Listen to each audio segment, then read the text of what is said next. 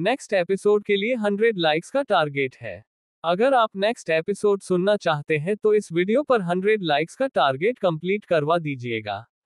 जैसे ही इस वीडियो पर 100 लाइक्स कंप्लीट हो जाएगा, आपको नेक्स्ट एपिसोड मिल जाएगा। जैसे ही विवान के सवाल को त्रिशा ने सुना, वैसे ही वह अजीब सा एक्सप्रेशन देते हुए बोली, मैं यहाँ पर क्या कर रही हूँ? इस बात से आपका कोई लेना देना नहीं है, बल्कि मैं तो आपसे यह पूछ रही थी कि वह बच्चा कौन है जिसकी तस्वीर देखकर आप बहुत ही ज़्यादा उदास हो रहे हैं। त्रिशा की बात सुन विवान ने कहा, अगर मैं कहूँ कि तुम्हारा भी इस बात से कोई लेना देना नहीं है तो फिर तुम क्या करोगी? यही ना कि मैं तुम्हारे सवाल का सही जवाब नहीं देता, लेकिन पहले तुमने ये शुरू किया है तो मैं भी तुम्हारे सवाल का कोई जवाब नहीं देने वाला विवान की बात सुनते ही त्रिशा ने मुँह बनाते हुए कहा, विवान, आपने बहुत ही ज़्यादा सरू है, गलती आपने किया, फिर भी आपको आपकी गलती का कोई एहसास ही नहीं है। मुझे लगा था कि आप मुझसे माफ़ी मांगेंगे, पर आप तो मुझसे मिलने के लिए भी नहीं आए, इसका मतलब मैं बिल्कुल सही थी, आप बिल्कुल एक हार्टलेस इंसान है, जिसके अंदर दिल नाम का कोई चीज़ ही नहीं है। दिल के जगह पर पत्थर लेकर घूम रहे हैं। अगर कभी इस पत्थर को उतार कर दिल लगा लिया होता तो शायद आपको समझ में आता कि आपने कितना बड़ा गुनाह किया है, आपने हमारा दिल तोड़ा है। तभी अचानक विवान खड़ा हुआ और खड़ा होने के बाद त्रिशा से बोला, क्या तुम मेरे माफ़ी मांगने से मुझे माफ़ कर दोगी? अगर तुम मुझे माफ़ कर दोगी तो फिर मैं अभी के अभी तुमसे माफ़ी मांगने के लिए तैयार हूँ Trisha I am so sorry मुझे माफ़ कर दो, मुझे बहुत बड़ी गलती हो गई। मैं आगे से ऐसी कोई गलती नहीं करूँगा जिस वजह से तुम्हारा या किसी और का दिल टूटे। विवान की बातों को सुन त्रिशा हैरानी से विवान को देखने लगी, तभी त्रिशा के ड्राइवर ने बुला लिया। इसके बाद वह वहाँ से बिना कोई जवाब दिए ही चली गई। जिस जगह पर त्रिशा जा रही थी, वहाँ तक पहुँचते पहुँचते उसे रात हो चुकी थी। वह वापस मुंबई नहीं आ सकती थी, इसीलिए वह एक होटल में रात गुजरने के बारे में सोचने लगी। जब वह होटल में रूम बुक करने के लिए गई तो रिसेप्शनिस्ट ने त्रिशा से कहा, सॉरी मैं, पर अभी अभी एक सर ने आपसे पहले ही आखिरी कमरा भी बुक कर लिया, जिस वजह से आप फ़िलहाल इस होटल में कोई भी कमरा खाली नहीं है। रिसेप्शनिस्ट की बातों को सुनते ही त्रिशा काफ़ी ज़्यादा उदास हो गए क्योंकि उसे जगह पर एक ही होटल था जहाँ पर भी कमरा खाली नहीं था, इसलिए अब उसे समझ नहीं आ रहा था कि वह कहाँ पर रहने के लिए जाएगी। तभी पीछे से विवाद में कहा, अगर तुम्हें कोई प्रॉब्लम नहीं है तो तुम मेरे साथ मेरे कमरे में रह सकती हो। विवान की बात सुनते ही त्रिशा ने कहा, नो, थैंक यू, मैं खुद मैनेज कर लूँगी, आपको मेरे लिए परेशान होने की ज़रूरत नहीं है। इतना कहकर चूस वहाँ से चली गई त्रिशा के वहाँ से जाने के बाद विवान बिना किसी भाव के अपने कमरे में चला किया। वहीं त्रिशा गाड़ी में जाकर बैठ गए, तभी अचानक बहुत तेज बारिश होने लगी, जिस वजह से त्रिशा बारिश में पूरी तरह से भीग गई। ऊपर कमरे से विवान सब कुछ देख रहा था। जब विवान को और ज़्यादा बर्दाश्त नहीं हुआ तो वह नीचे त्रिशा के पास जाने लगा और उसे ज़बरदस्ती अपने साथ कमरे में लेकर चलाया। कमरे में आने के बाद त्रिशा ने विवान से कहा, आपकी हिम्मत कैसे हुई हमें वहाँ से यहाँ पर लेकर आने की? अगर हम वहाँ पर मर भी जाते तो फिर आपको क्या फ़र्क पड़ता? आप तो अपनी ज़िंदगी सुकून से अच्छी रहे हैं ना? त्रिशा की बात सुन विवान ने कहा, तुम्हें तो इस बात से खुश होना चाहिए कि मुझे तुम्हारे तकलीफ़ से फ़र्क पड़ रहा है और अगर तुम खुश नहीं हो तो फिर मैं कुछ नहीं कर सकता। इतना कहकर विवान में त्रिशा के तरफ़ टॉवल को आगे बढ़ते हुए कहा, जल्दी से फ्रेश हो जाओ वरना तुम बीमार पड़ जाओगी। विवान की बातों को सुनते ही त्रिषा टॉवल लेकर वहाँ से चली गई, जिसे देखकर विवान के चेहरे पर एक मुस्कान आ गया। कुछ देर बाद त्रिषा जाकर बेड पर लेट गई, ऐसा लग रहा था जैसे उसकी तबीयत थोड़ी सी खराब है। जिस वजह से वह बेड पर लेट पर ब्लैंकेट लेने लगी, जिसे देखकर विवान ने त्रिषा से पूछा, क्या हुआ त्रिशा तुम्हारी तबीयत खराब है? विवान के सवाल का त्रिशा कोई जवाब नहीं दे रही थी, जिस वजह से विवान त्रिशा के पास जाने लगा। जैसे ही विवान का हाथ त्रिशा को लगा, वैसे ही वह समझ गया कि त्रिशा को काफ़ी ज़्यादा फीवर है और वह बेहोश हो चुकी है। ये देखते ही वह काफ़ी ज़्यादा परेशान होने लगा और वह परेशान होने के बाद तुरंत ही रिसेप्शनिस्ट को कॉल करके किसी डॉक्टर का इंतज़ाम करने के लिए बोला, लेकिन जब विवान को पता चला कि वहाँ पर कोई डॉक्टर नहीं है तो वह और भी ज़्यादा परेशान हो। क्या तभी विवान को कुछ याद आया और वह तभी किसी को कॉल करने लगा, फ़ोन उठाने की आवाज़ सुनते ही विवान ने कहा, अंकल, अगर किसी को बहुत तेज फीवर हो जाए और कोई डॉक्टर अवेलेबल ना हो तो क्या करना चाहिए? विवान का सवाल सुनते ही दूसरे तरफ़ के डॉक्टर ने कहा, विवान, पहले तो तुम चेक करो कि उसे इंसान के सिर के अलावा पूरी बॉडी ठंडी तो नहीं पड़ रही है। अगर उसकी बॉडी ठंडी पड़ रही है तो फिर यह प्रॉब्लम वाली बात है। उसके सर को ठंडा करने की कोशिश करो और उसके बॉडी को गर्म करने की। अगर तुम ऐसा करोगे तो उसके फीवर कम होने के चांस बहुत ज़्यादा है। डॉक्टर के कहे मुताबिक विवान ने त्रिशा के बॉडी को चेक किया, पर त्रिशा की बॉडी गर्म थी, पर उसके पैर काफ़ी ज़्यादा ठंडा हो चुके थे। यह बात पता चलते ही डॉक्टर ने कहा, तुम पेशेंट के पर को गर्म करने की कोशिश करो और उसके माथे को ठंडा करने की कोशिश करो।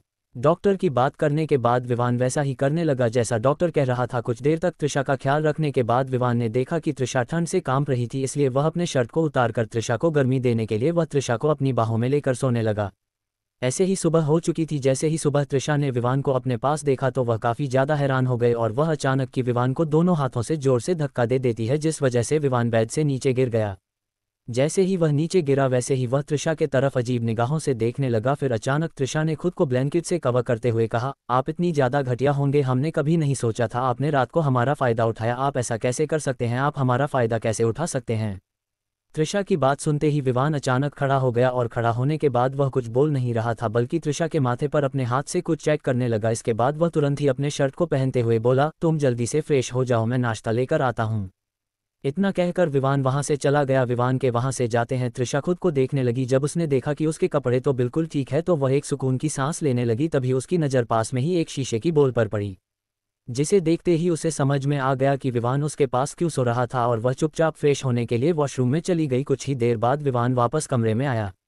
तो त्रिशा बेड पर आराम कर रही थी, जिसे देखकर विवान ने त्रिशा से कहा, तुम नाश्ता कर लो, मैं तब तक फ्रेश हो जाता हूँ। विवान की बात सुनते ही अचानक त्रिशा ने कहा, सॉरी, मैंने आपको गलत समझा, पर थैंक यू, कल रात आपने मेरी बहुत हेल्प की, अगर आप नहीं होते तो शायद मैं आज ज़िंदा ही नहीं बच पाती। तुषा की बात सुनते ही विवान ने कहा, गलती इंसान से ही होता है त्रिषा बस फ़र्क इतना है कि कुछ गलती छोटी होती है, जिसे माफ़ करना बहुत ही ज़्यादा आसान है, जैसे तुम्हारी गलती और कुछ गलती ऐसी होती है, जो बहुत बड़ी होती है, और उसे माफ़ करना आसान नहीं होता, जैसे मेरी की गई गलती। तुम ज़्यादा मत सोचो, तुम बस अपना ख्याल रखो, और हम जाते वक्त तुम्हारा चेकअप भी करके जाएँगे। इतना कहकर दीवान फ्रेश होने के लिए वॉशरूम में चला गया जब तक विवान वॉशरूम से नहीं आया तब तक त्रिशा ने नाश्ता नहीं किया था। वह विवान का इंतज़ार कर रही थी। जैसे ही विवान फ्रेश होकर आया, वैसे ही त्रिशा और विवान दोनों ही एक साथ नाश्ता करने लगे। जाते हुए विवान में त्रिशा का चेकअप भी करवा लिया। रिपोर्ट कुछ घंटे बाद आने वाली थी, इसलिए विवान ने त्रिशा को घर जाने के लिए कहा और वह की घर की तरफ़ निकल गया। उन दोनों को घर पहुँचते हुए शाम हो चुकी थी। जैसे ही विवान घर के अंदर आया तो उसने घर के हॉल में सब लोगों को बहुत ही ज़्यादा परेशान होकर बैठे हुए देखा, जिसे देखते ही वह कंफ्यूज होकर आदित्य से पूछने लगा, यहाँ पर हो क्या रहा है? सब लोग यहाँ पर ऐसे क्यों बैठे हुए हैं? जैसे ही आदित्य ने विवान का सवाल सुन, जैसे ही वह विवान के तरफ़ देखने लगा। लेकिन कोई भी कुछ भी जवाब देता उससे पहले ही वीरेंद्र जी ने विवान के गाल पर एक जोरदार थप्पड़ झड़ दिया, जिसे देखकर हर कोई काफ़ी ज़्यादा हैरान थे। तभी जागृति जी ने कहा, भाई साहब, पहले हम विवान से बात तो कर लेते, क्या पता जो कुछ भी हम देख रहे हैं वह सच ना हो। जागृति जी की बात सुनते ही वीरेंद्र जी ने गुस्से ने कहा, क्या पूछना? चाहती है जागृति इसने जो गलती की है उसकी सजा उसे मासूम सी बच्ची को मिलेगी। इसे तो कोई फ़र्क ही नहीं पड़ेगा, कुछ दिनों बाद इसके बारे में सब लोग भूल जाएँगे, पर जो कुछ भी इसने किया है इस वजह से सड़क दोनों परिवारों के रिश्तों पर तरीका की इस परिवार की बहू इस घर की बेटी है। वीरेंद्र जी की बातों को सुन सब लोग विवान की तरफ़ देखने वालों पर विवान काफ़ी ज़्यादा कंफ्यूज लग रहा था क्योंकि उसे कुछ भी पता ही नहीं था, जो गलती उसने की थी उसके लिए सबने उसे माफ़ कर दिया था। पर अब ऐसी कौन सी गलती करती है जो सब लोग उसे इतनी बातें सुन रहे हैं? वीरेंद्र जी के गुस्से को देखकर विवान समझ गया कि कुछ बहुत गलत हुआ है, जिस वजह से वह आदित्य की तरफ़ देखने लगा।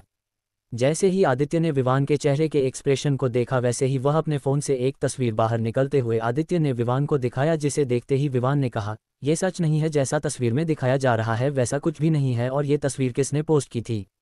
विवान की बात सुनते ही सुरेश जी ने कहा, क्या मतलब है तुम्हारा विवान की जैसा दिखाई दे रहा है, वैसा नहीं है? साफ़ साफ़ बताओ कि इस तस्वीर का मतलब क्या है? सुरेश जी का सवाल सुनते ही विवान ने पिछली रात को जो कुछ भी हुआ, वह सारी बातें साफ़ साफ़ सब लोगों को बता दिया, जिसे सुनने के बाद वीरेंद्र जी को ऐसा लगा।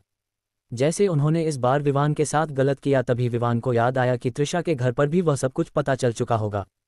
इसीलिए वह तुरंत त्रिशा को कॉल करने लगा। परेशान है, उसके कॉल का कोई जवाब नहीं दिया, जिस वजह से वह काफ़ी ज़्यादा परेशान हो गया और वह तुरंत ही घर से बाहर निकाल कर जाने लगा।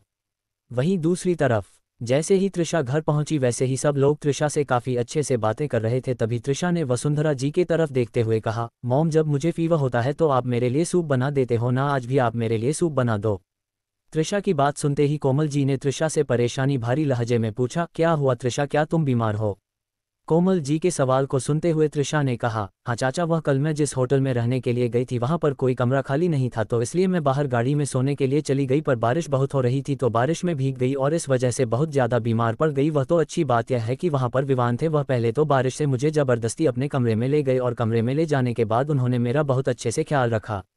अगर कल वह नहीं होते तो शायद मैं ज़िंदा ही नहीं बच पाती, उन्होंने पूरी रात मेरी देखभाल की, सुबह वह मुझे डॉक्टर के पास भी लेकर गए और डॉक्टर को दिखाने के बाद ही मुझे घर भेजा। त्रिशा की बात सुनते ही मृत्युंजय ने अचानक त्रिशा को वह तस्वीर दिखाते हुए पूछा, क्या कल रात तुम दोनों इस कमरे में थे? मृत्युंजय के सवाल को सुनते हैं त्रिशा ने हमें जवाब दिया, जिसे सुनकर मृत्युंजय के चेहरे के भाव अचानक बदल गए। तभी वहाँ पर ईशानवी आई, जैसे ही मृत्युंजय ने ईशानवी को देखा, वैसे ही वह ईशानवी को देखते हुए बोला, तुम सही थी बीवी और इस बार हम सब लोग गलत है। तस्वीर में जैसा दिखाई दे रहा है, वैसा कुछ भी नहीं हुआ है। शायद किसी ने त्रिशा और विवान की इमेज को खराब करने के लिए प्लान बनाया था। मृत्युंजय की बात सुनते ही ईशानवी ने बिना किसी भाव के कहा, विवान भाई की इमेज को खराब करने के लिए नहीं बल्कि त्रिशा की इमेज को खराब करने के लिए क्योंकि यह तस्वीर विवान भाई की ज़िंदगी बर्बाद नहीं कर सकता। हाँ ये बात सच है कि परिवार की नज़रों में विवान भाई की इमेज खराब हो सकती है, पर दुनिया की नज़रों में नहीं, ये त्रिशा की बर्बादी का खेल खेला गया था। जो आपके किसी अपने नहीं खेल है, मैं इसके आगे और कुछ नहीं बोलूँगी, इसके आगे आपको खुद पता करना होगा कि यह सब कुछ किसने किया है। इतना कहने के बाद ईशानवी वहाँ से जाने लगी, लेकिन वह जाने से पहले मृत्युंजय से बोली, एक और बात मेरा भाई गलती कर सकते हैं, मैं ऐसा नहीं करते कि उन्होंने त्रिशा के साथ गलत नहीं किया, पर वह एक ही गलत ही बार बार करें, इतने बड़े बेवकूफ़ नहीं है, और उनकी यही सबसे खास बात है कि वह एक ही गलती बार बार नहीं करते. इतना कहने के बाद ईशानवी वहाँ से चली गई। ईशानवी की बातों को सुन त्रिशा के दिमाग में कुछ चलने लगा और वह भी अपने कमरे में जाने लगी। वहीं दूसरी तरफ़ विवान त्रिशा से मिलने के लिए अग्निहोत्री पैलेस जा रहा था लेकिन तभी अचानक विवान की गाड़ी का एक्सीडेंट हो गया। जैसे ही सिंघानिया फैमिली को इसकी खबर मिली, वैसे ही वह सब लोग तुरंत ही अस्पताल के लिए निकल गए। विवान की हालत काफ़ी ज़्यादा नाजुक थी, उसे काफ़ी गहरी चोट आई थी। जैसे ही ईशानवी को इसके बारे में पता चला, वैसे ही वह नीचे दौड़ने लगी। अग्निहोत्री फैमिली के सारे लोगों ने जैसे ही ईशानवी को परेशान होकर दौड़ते हुए देखा तो वसुंधरा जी ने पूछा, ईशानवी, क्या हुआ? तुम ऐसे दौड़ क्यों रही हो? वसुंधरा जी का सवाल सुनते ही ईशानवी ने जवाब देते हुए कहा, वह घर से फ़ोन आया था, भाई का एक्सीडेंट हो गया है, इसीलिए मैं अस्पताल जा रही हूँ। इतना कहकर ईशानवी वहाँ से जाने लगी। ईशानवी के साथ मृत्युंजय भी वहाँ से निकल गया। सब लोग जैसे ही अस्पताल पहुँचे तो उन्हें पता चला कि विवान की हालत काफ़ी ज़्यादा खराब है, मृत्युंजय को पता नहीं था कि विवान का एक्सीडेंट हुआ है, क्योंकि ईशानवी ने किसी का नाम नहीं दिया था। जैसे ही विवान के बारे में पता चला, मृत्युंजय तुरंत ही अपने घर में फ़ोन करके सबको बताने लगा। जैसे ही त्रिशा को विवान के एक्सीडेंट होने वाली बात पता चली, वैसे ही वह भी अस्पताल जाने की जिद करने लगी, जिसे देखकर वसुंधरा जी ने कहा, ठीक है त्रिशा तुम चली जाना, पहले थोड़ा सा आराम कर, उसके बाद चली जाना, तुम्हारी भी तो तबीयत खराब है ना? वसुंधरा जी की बात सुनते ही त्रिशा ने कहा, नहीं मोम, मुझे जाना है, प्लीज़ आप मुझे जाने दीजिए, मुझे पता है तस्वीर वाली बात पता चलने के बाद ज़रूर कुछ हुआ होगा, जिस वजह से विवान घर से निकल गए होंगे, वरना सुबह तक तो वह मेरे साथ काफ़ी ज़्यादा खुश थे। इतना कहकर त्रिशा रोने लगी। त्रिशा को ऐसे रोता हुआ देख जितेश जी और जयप्रकाश जी दोनों ही एक दूसरे को देखने लगे क्योंकि उन्हें समझ में आ चुका था कि त्रिशा की दिल में विवान के लिए फीलिंग्स है। जब वसुंधरा जी और कोमल जी त्रिशा को जाने से रोक रहे थे तभी जयप्रकाश जी ने त्रिशा की तरफ़ देखते हुए कहा, ठीक है त्रिशा अगर तुम जाना चाहती हो तो फिर हम तुम ही लेकर चलेंगे, चलो। जयप्रकाश जी और जितेश जी दोनों ही त्रिशा को लेकर अस्पताल की तरफ़ निकल गए। त्रिशा गाड़ी में भी बहुत ज़्यादा रो रही थी। जिसे देखकर जितेश जी ने त्रिशा से पूछा त्रिशा सच सच बताना तुम भी वहाँ से बहुत ज़्यादा प्यार करती हो ना? अगर तुम पहले से ही विवान से प्यार करती थी तो फिर तुमने हम सबसे कहा कि नहीं? जितेश जी के सवाल को सुनते ही त्रिशा ने कहा हाँ चाचू, मैं विवान से बहुत प्यार करती हूँ, ये बात मुझे पहले बिल्कुल भी समझ नहीं आई। इसीलिए मैंने किसी को बताना ज़रूरी नहीं समझा, पर अब मैं सबको बता सकती हूँ कि मैं विवान से बहुत ज़्यादा प्यार करती हूँ और मैं उसके बगैर नहीं जी सकती। त्रिशा की बातों को सुन जितेश जी जयप्रकाश जी की तरफ़ देखने लगे। वह दोनों ही एक गहरी सांस लेने लगी, उन्होंने दोबारा कुछ भी नहीं कहा। कुछ ही देर बाद तीनों अस्पताल पहुँच गए। अस्पताल पहुँचने के बाद त्रिशा को पता चला कि विवान की हालत बहुत ही ज़्यादा खराब है। डॉक्टर ने कहा है कि उसकी जान बचाना भी शायद मुमकिन नहीं हो सकता। ये बात सुनते ही त्रिशा बहुत ही ज़्यादा रोने लगी। त्रिशा को रोता हुआ देख जागृति जी ने त्रिशा को संभाल। त्रिशा को ऐसे रोता हुआ देख हर किसी को एक बात समझ में आ चुकी थी कि त्रिशा विवान से बहुत ही ज़्यादा प्यार करती है। ईशानवी काफ़ी ज़्यादा स्ट्रांग थी, पर वह आज कमज़ोर पड़ रही थी, जिसे देख आदित्य ने ईशानवी को संभालते हुए कहा, इशू, तुम्हें पता है ना कि हम कमज़ोर नहीं पड़ सकते। अगर हम कमज़ोर पड़ जाएँगे तो फिर बड़ी मामी को कौन संभालेगा? आदित्य की बातों को सुन ईशानवी खुद को संभालने लगी। वही ऑपरेशन थिएटर में तीन घंटे हो चुके थे, लेकिन अब तक ऑपरेशन चल रहा था। इस चीज़ को देखकर आदित्य और भी ज़्यादा परेशान होने लगा। जिस वजह से वह थोड़ा सा वहाँ से दूर चला गया, कुशांत ने आदित्य को नोटिस कर लिया था और वह आदित्य के पीछे जाने लगा। आज पहली बार था जब आदित्य रो रहा था। आदित्य को रोता हुआ देख कुशांत ने आदित्य के कंधे पर हाथ रखते हुए कहा, आज तक हम पर जब भी कोई खतरा आया तब विवान भाई ने वह खतरा हम तक पहुँचने से पहले ही खत्म कर दिया। जब आज उन्हें हमारी सबसे ज़्यादा ज़रूरत थी तब हमने उनके साथ नहीं दिया। ईशानवी को भरोसा था उन पर, इसीलिए वह हम सबसे लड़ पड़ी। कुशांत की बातों को सुनते ही आदित्य ने कहा, गलती हो गई हमसे कुशांत जो हमने विवान को सपोर्ट नहीं किया। गलती हमसे भी हुई थी, पर कभी भी उसने हमें हमारी गलती के लिए हमें डांटा नहीं था। उसने हमेशा हमारी गलती को सुधारने के लिए हमें मौका दिया, पर हम ही उसे कभी मौका नहीं दे पाए, क्योंकि हमें उसे पर भरोसा था ही नहीं। जो भरोसा उसने हम पर किया था, हम उसका एक परसेंट भरोसा भी उसे पर नहीं कर पाए। तभी कुशांत ने कहा, आपने बिल्कुल सही कहा भाई, अग्निहोत्री फैमिली नहीं पता था कि विवान भाई कैसे हैं, पर हम जानते थे हमने भी उनका भरोसा नहीं किया, उनकी तकलीफ़ को हम ही नहीं समझ पाए। जब हम तकलीफ़ में होते थे तो वह कभी भी हमें अपने से दूर नहीं करते थे। वह हमेशा हमें अपनी आँखों के सामने रखते थे, पर जब उन्हें तकलीफ़ हुई, हम उनका साथ तक नहीं दे पाए। कुशांक और आदित्य काफ़ी ज़्यादा उदास हो चुके थे। उन दोनों की बातें वीरेंद्र जी ने सुन लिया था, उन्हें भी इस बात पर अब अफसोस हो रहा था कि उन्होंने विवान का थोड़ा सा भी यकीन क्यों नहीं किया। उन्होंने विवान पर पहली बार हाथ उठाया था। पहली बार था जब सिंघानिया परिवार के किसी बच्चे के ऊपर हाथ उठाया गया था। सब लोगों के दिमाग में बस एक ही सवाल चल रहे थे कि उन्होंने विवान का भरोसा क्यों नहीं किया। सब लोग इसी बात को लेकर सबसे ज़्यादा परेशान थे। उपासना जी बहुत ही ज़्यादा रो रही थी। कम से कम छह घंटे बाद ऑपरेशन थिएटर का दरवाज़ा खुला और डॉक्टर बाहर निकाल कर आए और सब लोगों की तरफ़ देखते हुए बोले, चोट काफ़ी गहरी थी, पर हमने उनकी जान बचा ली है, लेकिन अभी उन्हें होश नहीं आया है। चौबीस घंटे के अंदर अगर उन्हें होश नहीं आया तो फिर से उनकी जान को खतरा हो सकता है डॉक्टर की बातों को सुनकर ईशानवी अचानक ही रोते हुए बैठ गए। कुछ देर भी विवान को आईसीयू में शिफ्ट कर दिया। अभी भी विवान की हालत ज़्यादा अच्छी नहीं थी। ऐसे ही बारह घंटे बीत गए। इन बारह घंटे में त्रिषा विवान के पास ही बैठी हुई थी। वह विवान को छोड़कर कहीं नहीं जाना चाहती थी। ईशानवी भी बाहर ही बैठकर होश में आने का इंतज़ार कर रही थी। जब सब लोग बाहर बैठकर विवान के होश में आने का इंतज़ार कर रहे थे, तभी अचानक सारांश दौड़ते हुए आया और सब लोगों की तरफ़ देखते हुए बोला, भाई का एक्सीडेंट किसी ने जानबूझकर किया है। मुझे उसकी इन्फॉर्मेशन मिल चुकी है। सारांश की बात सुनते ही हर कोई हैरान हो गया। वहीं आदित्य और कुशांक दोनों ही सारांश के साथ वहाँ से चले गए। ईशानवी फ़िलहाल कुछ नहीं करना चाहती थी, इसलिए वह वहीं पर बैठी हुई थी। चौबीस घंटे होने को आए थे, पर अब तक विवान को होश नहीं आया था। डॉक्टर भी काफ़ी ज़्यादा परेशान लग रहे थे, क्योंकि विवान की हालत और भी ज़्यादा खराब हो रही थी। त्रिषा बाहर बैठकर रो रही थी, क्योंकि डॉक्टर के मुताबिक शायद वह लोग विवान को बचा नहीं पाएँगे। वही विवान बेहोशी में वह सपना देख रहा था। विवान ने खुद को एक अंधेरी कमरे में पाया, जहाँ थोड़ी सी भी रोशनी नहीं थी। जिसे देखकर विवान ने खुद से ही कहा, ये कौन सी जगह है? मैं तो बेहोश था, फिर मैं यहाँ पर कैसे पहुँचा? और यहाँ इतना अंधेरा क्यों है? विवान के दिमाग में बहुत सारे सवाल चल रहे थे, जिसका जवाब उसके पास नहीं था, जिस वजह से वह अपने आसपास देखने लगा। और वह अपने आसपास देखने के बाद चिल्लाते हुए बोला, क्या को यहाँ पर है? प्लीज़ यहाँ की लाइट ऑन कर दो। तभी कहीं से एक फॉक्स लाइट जलने लगी, जो विवान के सामने किसी के ऊपर पड़ रही थी। वहाँ पर विवान ने एक छोटे से बच्चे को देखा। बच्चों को देखते ही विवान कन्फ्यूज़ होकर बच्चे की तरफ़ देखने लगा। वह बच्चा धीरे धीरे करते हुए विवान के तरफ़ आगे बढ़ने लगा, जिसे देखकर विवान भी उसे बच्चों के तरफ़ जाने लगा। वह बच्चा एक छोटी सी लड़की थी, बहुत ही ज़्यादा क्यूट थी। उस बच्ची को देखते ही विवान उसे बच्ची के पास जाकर उसे अपने कोर्ट में उठा लेता है और गोद में उठते ही वह बच्ची से पूछने लगा, बेटा, तुम कौन हो और तुम यहाँ पर क्या कर रही हो और तुम्हारे माँ बाप कहाँ पर हैं? तभी वह बच्चे अपनी क्यूट वॉइस में बोली, ओहो, पापा, आप अपनी बेली को भी नहीं पहचान पाए। मैं आपकी बेली हूँ। उस बच्ची की बातों को सुन विवान ने कहा, तुम्हारा मतलब बेटी। तभी बच्ची बोली हाँ वही। बच्ची की बात सुनते ही विवान बच्ची के तरफ़ देखने लगा, तभी बच्ची ने फिर से कहा, हम आपके यहाँ से जाने से लोकने आए हैं। आप हमारे आले से पहले ही हमें छोड़ के जा रहे हो। इसीलिए हम आपको जाने से लोक रहे हैं। हमें छोड़ के मत जाओ पापा। हम तो अभी इस दुनिया में आए भी नहीं। तो आप हमें छोड़ के कैसे जा सकते हैं? हम आपको जाने नहीं देंगे। बच्ची की क्यूट सी बातों को सुन विवान मुस्कुराने लगा और मुस्कुराने के बाद बच्ची के गालों पर चूमते हुए बोला, ठीक है मेरी प्यारी बच्ची, मैं नहीं जाऊँगा, अब तुम खुश, मैं वापस जा रहा हूँ और वापस जाने के बाद तुम्हारे आने का इंतज़ार करूँगा और तुम भी जल्दी आ जाना। विवान की बात सुनते ही बच्ची ने कहा, मैं तो नौ महीने बाद आ ही जाऊँगी, पर हमारे आले से पहले जाकर हमारी मम्मी से शादी कर लो, अगर शादी नहीं करोगे तो पापा नहीं कहूँगी। पैदा होने के बाद अपने लिए नए पापा को ढूंढूँगी तो जाओ जाकर जल्दी से शादी करो। बच्ची की बात सुन विवान ने मुस्कुराते हुए कहा, ठीक है, मैं जाकर आपकी मम्मी से शादी करता हूँ और आपके आने की तैयारी भी करूँगा, अब तो खुश है ना? इतना कहकर विवान ने बच्ची को अपने गोद से उतार दिया। विवान के उतरते ही वह बच्ची थोड़ा आगे चली गई और आगे जाने के बाद वह बच्ची पीछे मुड़कर विवान के तरफ़ देखकर एक क्यूट सी स्माइल देने लगी। फिर वह बच्ची अचानक ही गायब हो गई। बच्ची के गायब होते ही विवान भी होश में आ गया। जिस वक्त विवान होश में आया, उसे वक्त उसके पास कोई नहीं था। तभी एक नज ने देखा कि विवान होश में आ गया है। ये देखते ही वह तुरंत ही डॉक्टर को बुलाने लगी। डॉक्टर ने जब विवान का चेकअप किया तो उन्हें पता चला कि विवान अब खतरे से बाहर है। ये बात जैसे ही सब लोगों को पता चली तो सब लोग बहुत ही ज़्यादा खुश होंगे।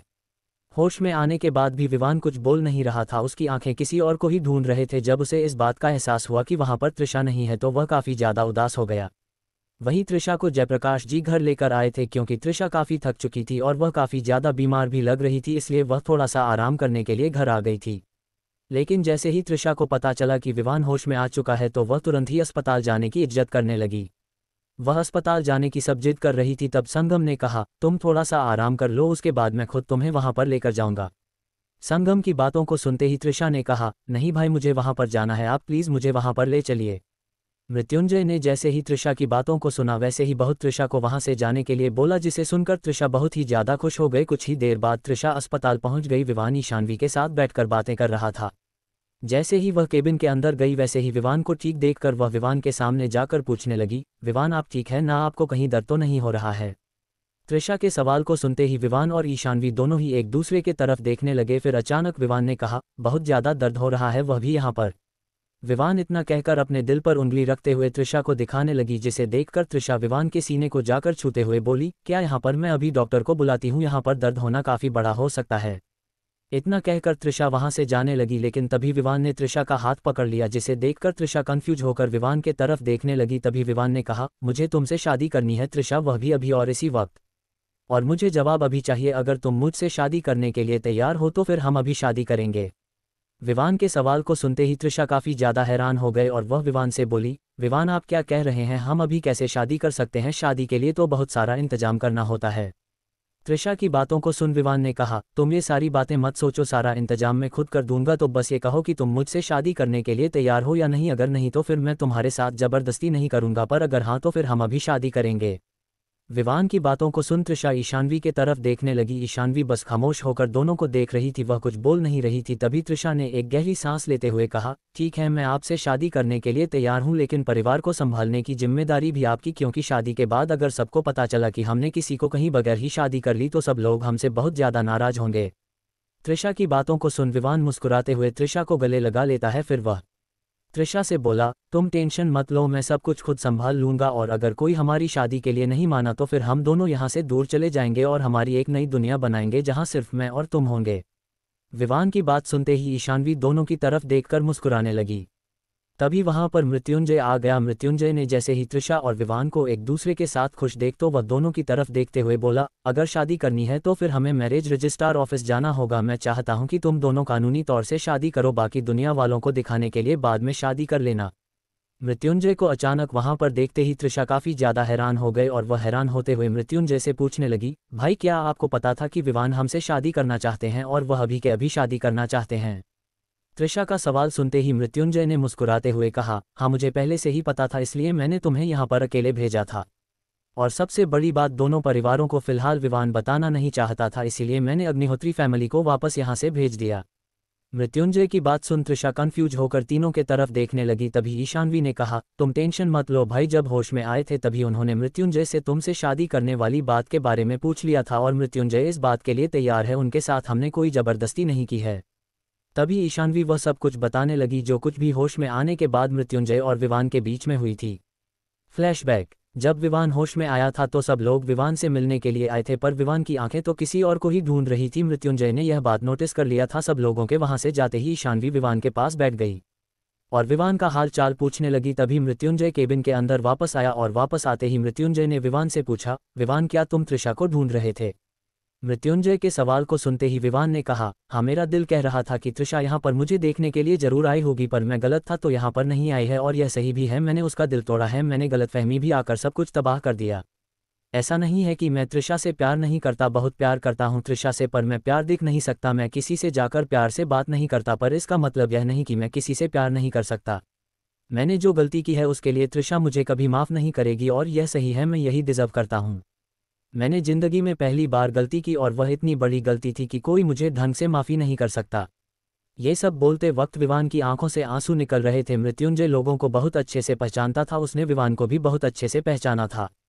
वह जानता था विवान सच्चा है, वह किसी के साथ धोखाधड़ी नहीं करता, वह जिसके साथ रिश्ता निभाता है, वह शिद्दत से निभाता है। बस विवान ने एक गलती की थी, जो गलती उसे पर बहुत ही ज़्यादा भारी पड़ी। तभी मृत्युंजय ने कहा, ऐसी बात नहीं है विवान त्रिशा तुमसे बहुत ज़्यादा प्यार करती है। अगर वह तुमसे प्यार नहीं करती तो वह रोती नहीं तुम्हारी हालत के बारे में सुनकर वह यहीं पर थी। चाचू उसे कुछ टाइम के लिए यहाँ से लेकर गए। उसने कल से ठीक से कुछ खाया भी नहीं था और आराम भी नहीं किया था तो इसीलिए चाचू उसे आराम करवाने के लिए लेकर गए हैं। कुछ ही देर में वह यहाँ पर आ जाएगी। मृत्युंजय की बात सुनते ही विवान के चेहरे पर मुस्कान आ गई और वह मुस्कुराते हुए मृत्युंजय से बोला, क्या मैं तुमसे कुछ मांग सकता हूँ, मृत्युंजय? मृत्युंजय ने हमें सिर हिला दिया जिसे देखते ही विवान ने कहा, मुझे त्रिशा से शादी करनी है, वह भी आज। मैं अब त्रिशा को अपने से दूर नहीं रखना चाहता मृत्युंजय ने जैसे ही विवान की बात को सुना, वैसे ही वह थोड़ा सा हैरान तो हुआ, लेकिन वह कुछ सोचकर मान गया, वहीं ईशानवी भी मृत्युंजय को बहुत ही ध्यान से देख रही थी। फ्लैशबैक एंड सारी बातें समझ में आने के बाद त्रिशा सब लोगों की तरफ़ देखने लगी, तभी मृत्युंजय, ईशानवी त्रिशा और विवान को वहाँ से मैरिज रजिस्टर के ऑफ़िस लेकर चले गए। जब बाकी सब लोग अस्पताल पहुँचे तब किसी ने भी विवान को केबिन में नहीं देखा तो सब लोग बहुत ही ज़्यादा परेशान होने लगे और डॉक्टर को बुलाने लगे, जिसे देखने के बाद उपासना जी अचानक सोफे पर बैठते हुए बोली, कहीं हमारा विवान हमें छोड़कर चला तो नहीं गया, हमने उसे पर भरोसा नहीं किया था, कहीं इस वजह से वह हमसे नाराज़ तो नहीं हो गया। उपासना जी की बात सुन कैलाश जी ने कहा, भाभी, आप क्या बोल रही हो? विवान बेवकूफ़ नहीं है, वह कहीं नहीं जा सकता। तभी सुरेश जी ने एक गहरी सांस लेते हुए कहा, जब अपनों का साथ ना मिले, जब अपनों से भरोसा ना मिले तो इंसान को अकेला कर देता है और जब कोई खुद को अकेला समझने लगता है तो वह परिवार से दूर जाने से भी नहीं करता। अगर सच में ऐसा हुआ तो पता नहीं हम सब कैसे जिएँगे। विवान के बिना और अगर दीवान नहीं सच में घर छोड़ दिया तो ईशानवी भी हम सबसे नाराज़ हो जाएगी। जैसे ही आदित्य और कुशांक ने सुरेश जी की बातों को सुना, वैसे ही दोनों एक दूसरे की तरफ़ देखने लगे। तभी आदित्य ने कहा, ऐसा नहीं हो सकता, बड़ी मामू, मैं भाई को घर छोड़कर जाने नहीं दूँगा और फ़िलहाल वह बहुत ही ज़्यादा बीमार है, उनकी तबीयत इतनी अच्छी नहीं है कि वह यहाँ से दूर जाए, उनका अभी भी ट्रीटमेंट चल रहा है, मैं उन्हें कहीं से भी ढूंढ कर लेकर आऊँगा। चाहे मैं उनसे हज़ार बार माफ़ी मांग लूँगा, पर मैं उन्हें हम सबसे दूर जाने कभी नहीं दूँगा, मैं उन्हें ढूँढने के लिए जा रहा हूँ। इतना कहकर आदित्य वहाँ से निकल गया। वहीं दूसरी तरफ़ मृत्युंजय ईशानवी विवान और त्रिशा मैरिज रजिस्टर के ऑफ़िस से निकलकर मंदिर की तरफ़ जाने लगे। जैसे ही वह लोग मंदिर पहुँचे, पंडित जी पहले से ही उनका इंतज़ार कर रहे थे। त्रिशा और विवान दोनों मंदिर में शादी करने वाले थे। पंडित जी के सामने और भगवान को साक्षी मानकर दोनों ने एक दूसरे से शादी कर ली। विवान ने पहले से ही त्रिशा के लिए मंगलसूत्र का इंतज़ाम करके रखा था। जैसे ही दोनों की शादी हो रही थी, वैसे ही मृत्युंजय ने ईशानवी से कहा, क्या तुम अभी भी मुझसे नाराज़ हो? ईशानवी, देखो, मैं विवान पर भरोसा करना शुरू कर दिया है, क्योंकि मुझे पता है कि विवान अच्छा लड़का है। गलतफहमी की वजह से उसने गलती कर दी, पर वह आगे से त्रिशा का बहुत अच्छे से ख्याल रखेगा। मृत्युंजय की बात सुनते ही ईशानवी ने कहा, आप गलत समझते हैं, मृत्युंजय, हम आपसे नाराज़ नहीं है। वह बस हालत ही ऐसे हो गई कि हमें कुछ समझ नहीं आ रहा था कि हमें क्या करना चाहिए, पर हमें एक बात अच्छे से पता थी कि विवान भाई त्रिशा की बदनामी करने की कोशिश कभी नहीं करेंगे।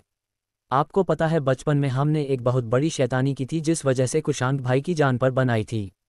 विवान भाई ने वह गलती अपने ऊपर ले ली क्योंकि उन्हें डर था कि अगर कोई हमें पनिशमेंट देंगे तो शायद हम बहुत ज़्यादा रोएँगे और वह हमारी आँखों में आँसू नहीं देख सकते। उन्होंने हमेशा हम सबको प्रोटेक्ट किया, जब उन्हें हम सब की ज़रूरत थी तो हम उनके साथ खड़े नहीं हो सकते तो फिर हम उनकी प्रोटेक्शन लेना भी डिजर्व नहीं करते। ईशानवी की बातों को सुन मृत्युंजय ईशानवी के तरफ़ देखने लगा, तभी मृत्युंजय ने ईशानवी को अपने गले से लगा लिया। वही त्रिषा और विवान की शादी भी संपन्न हो चुकी थी। दोनों बहुत ही ज़्यादा खुश थे, तभी पंडित जी ने कहा, आप दोनों की शादी संपन्न हुई, आप जाकर अपनी बड़ों का आशीर्वाद ले लीजिए पंडित जी की बात सुनते ही विवान मृत्युंजय की तरफ़ देखने लगा, तभी त्रिषा ने अचानक ही मृत्युंजय के पैर छू लिए, जिसे देखकर मृत्युंजय काफ़ी ज़्यादा हैरान हो गया। पर वह बहुत ही खुशी से दोनों को आशीर्वाद देने लगा। वही विवान खड़ा था, ये देखकर मृत्युंजय विवान के तरफ़ देखने लगा। तभी विवान ने कहा, भूलो मत कि तुम भी मेरी छोटी बहन के पति हो, इसीलिए हम दोनों के लिए यही बेहतर होगा कि हम दोनों एक दूसरे के पैरों से दूर ही रहे। विवान ने इतना कहा ही था कि तभी अचानक विवान के सिर में काफ़ी ज़्यादा दर्द होने लगा, जिस वजह से वह अचानक वहाँ पर गिरने वाला था। लेकिन मृत्युंजय ने उसे संभाल लिया, जिसे देखते ही त्रिशा ने कहा, मुझे लगता है हमें वापस विवान को अस्पताल लेकर जाना चाहिए। अभी भी उनकी तबीयत ठीक नहीं हुई है, इन्हें अभी भी ट्रीटमेंट की ज़रूरत है। त्रिशा की बात सुनते ही ईशानवी ने कहा हाँ बिल्कुल, अगर घर की बाकी सब लोग की अस्पताल आ गए तो वह लोग भी भाई को लेकर काफ़ी ज़्यादा परेशान होंगे। वह लोग ये ना समझे कि भाई घर छोड़कर चले गए, इसलिए हमें जल्दी अस्पताल जाना चाहिए और भाई की भी तबीयत खराब हो रही है।